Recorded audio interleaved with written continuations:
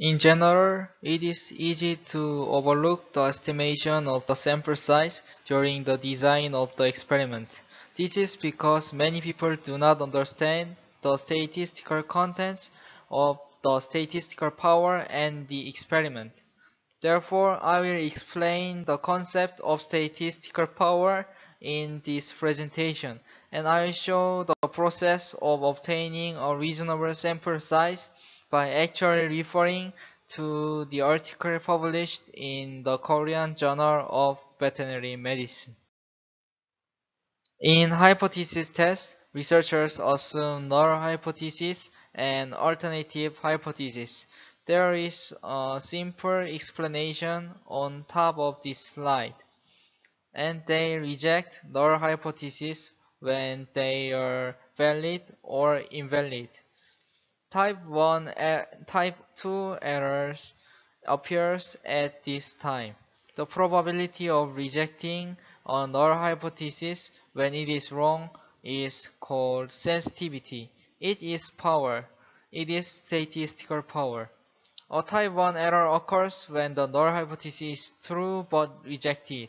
And a type 2 error occurs when the null hypothesis is false but not rejected. So statistically power is important to prevent type 2 error.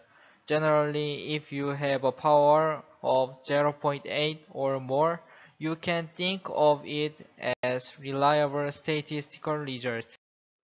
Now you can see several experimental design steps. There is an important step in this picture, estimating sample size.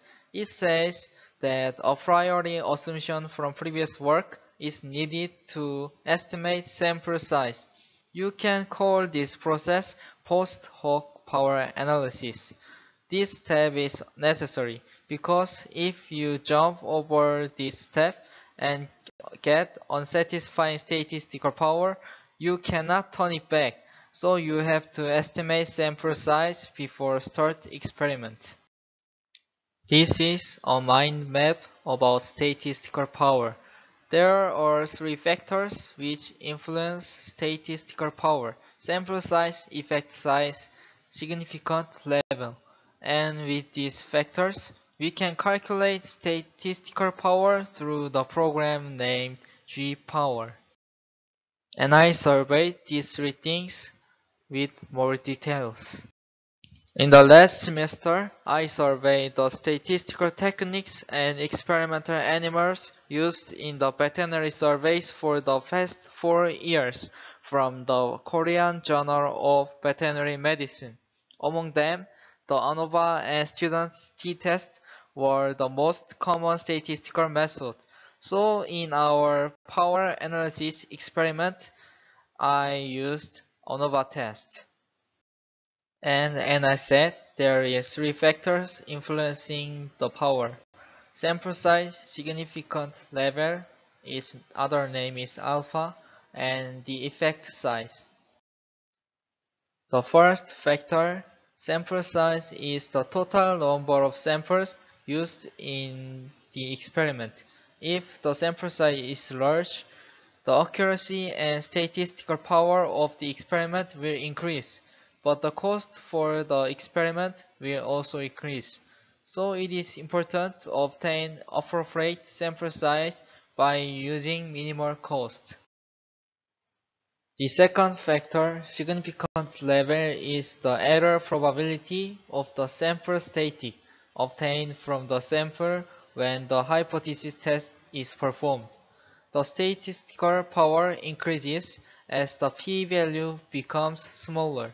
If the p-value is greater than 0.05, the power drops unreliably. The last factor, effect size means the extent of size in the population or degree to which the null hypothesis is wrong.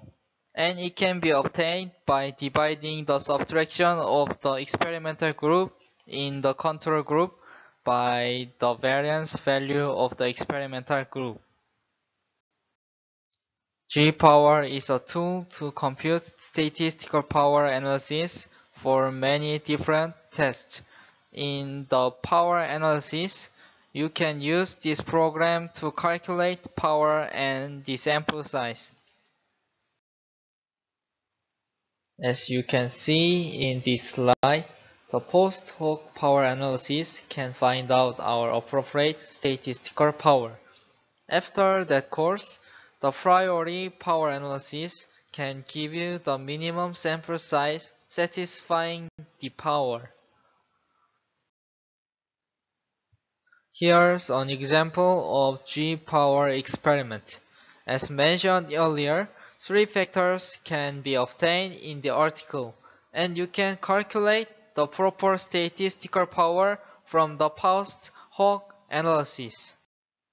And then, in priori power analysis, you can set the significant level to 0.05 and set the power to 0.8 and put the effect size obtained from the post hoc analysis, you can get the appropriate sample size. I did the post hoc power analysis through the G-Power program. I took the previous value as an example and obtained the power of about 0.84. It means the previous study had more than 80% power. This means you can use previous studies effect size in priori power analysis. Now you can give the 0.8 power and 0.05 significant level the alpha with the previous effect size. You can get the minimum sample size, the total sample size. In this semester, I have surveyed about the method of estimating sample size and the important factors of statistical power. Now, we know the necessity of these concepts, but actually many people overlook the importance of those steps. I hope that this video can help many people to know about the importance of this process and to consider it well before start their experiments. Thanks for watching. Is Jisup Kim from the Jeju National University.